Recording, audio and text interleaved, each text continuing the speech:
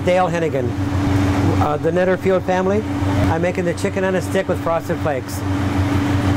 First, you have to put two put two tenders on the stick. Then you put the special batter on it. Then once you get uh, battered enough, you just pick it up and put it in the frosted flake mixture. And make sure you cover it well.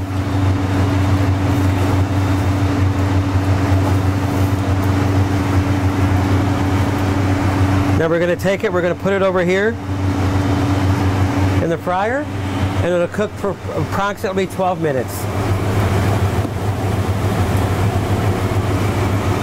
And that's our chicken on a stick with frosted flakes.